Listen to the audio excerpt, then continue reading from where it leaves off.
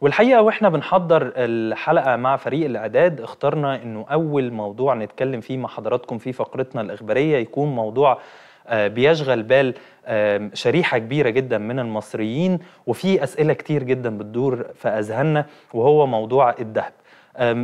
اسعار الذهب كل يوم في تزايد وفي أسئلة كتير جدا بتدور في أذهاننا. هل نشتري دلوقتي ولا نستنى شوية؟ هل نبيع دلوقتي ولا نستنى شوية؟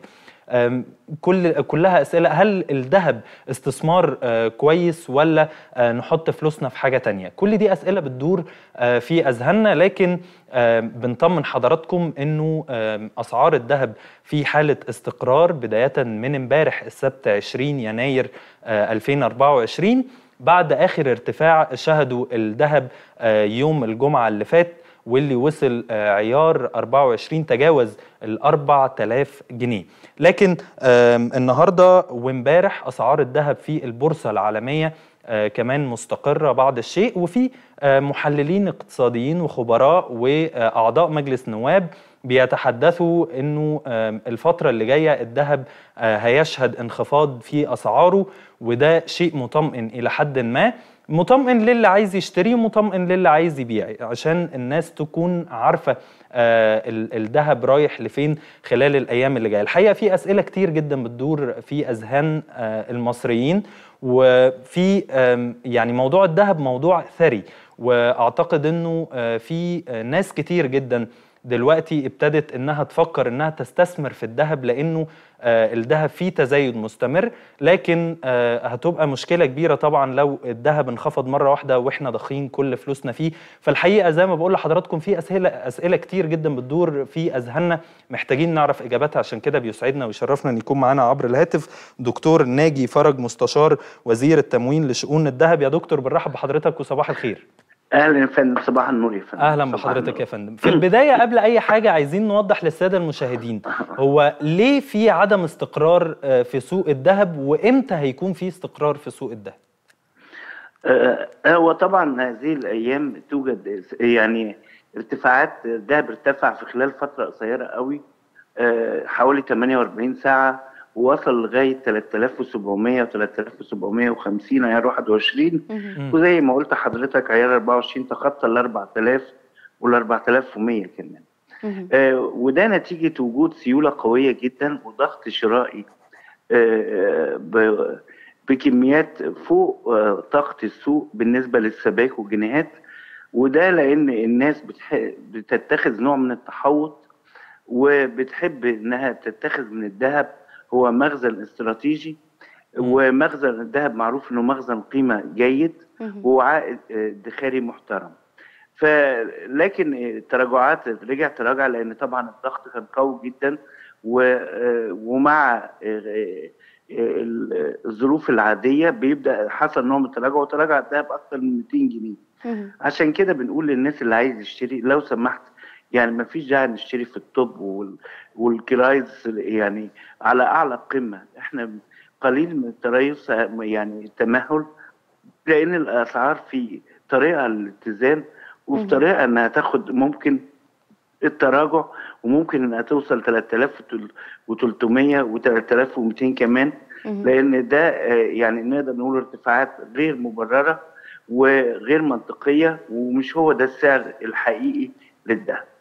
طيب يا دكتور خليني أسأل حضرتك إنه آه، وزارة البترول أعلنت عن اكتشاف منجم منجم أبو مروات بالصحراء الشرقية وعايزين نعرف إزاي ممكن اكتشاف آه، منجم زي ده ممكن يأثر في سوق الذهب هو يعني بالنسبة للمناجم عموما دي بتبقى تعاقدات مع وزارة البترول وال- والشركات الأجنبية. مم. وبيبقى في نسب معينة بتدخل الاقتصاد القومي.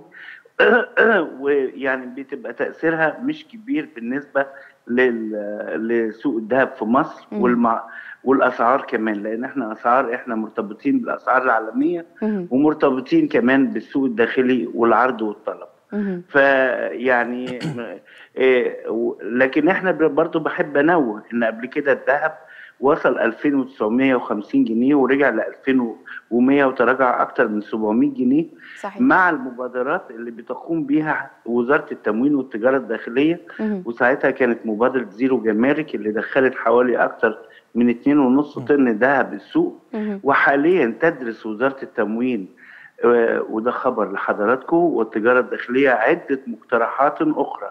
في قوة آه، مبادرة zero جمارك وتستطيع بإذن الله حال تنفيذ هذه المقترحات. إنها بإذن الله ت- ت- ت- تؤدي إلى أسعار معتدلة ومتزنة وبعيد بعيد عن الشطط الموجود حاليا. طيب طب يا دكتور بخصوص المبادرات اللي حضرتك بتتكلم عنها وبالأخص مبادرة zero جمارك سؤالي لحضرتك يعني بقالنا فترة كبيرة الحقيقة و و وفي السنوات الأخيرة بنشوف إنه لما بيحصل أزمة في أي سلعة أو في أي سوق الدولة المصرية بتسعى جاهدة آه، إنها تحل هذه الأزمة بعمل مبادرات وبجهود ك- كبيرة جدا بتبذل آه، في هذا السوق عشان الأمور تتحسن. وبالأخص في آه، سوق الذهب وحضرتك يعني قامة كبيرة في هذا السوق عايز أسأل حضرتك إيه الجهود المبذولة والمبادرات المبذولة؟ حاليا في مبادرة إن إحنا إحنا أول مبادرة كانت إعفاء من الجمارك تماما آه، هي زيرو جمارك. آه مع الإبقاء على ضريبة المبيعات اللي هي 14% على الأجرة فقط. آه، أول حاجة إن إحنا بنطالب إن إحنا إلغاء كافة الرسوم تماما على واردات الذهب وبأي كميات وبأي أشكال آه، سواء الذهب أو المعادن النفيسة. وتاني مبادرة هي إقامة منطقة حرة آه، زي الموجودة في دبي لسوق الذهب وسبائك الذهب في جنوب آه، في منطقة أسوان. ودي لأنها قرب المناجم اللي هناك قرب المثلث الذهبي وحلايب وشلاتين ودي هتؤدي إلى استقرار كبير في سوق الذهب. آه، وتوجد أيضا مبادرة إنشاء سندات وصندوق آه، استثمار في الذهب.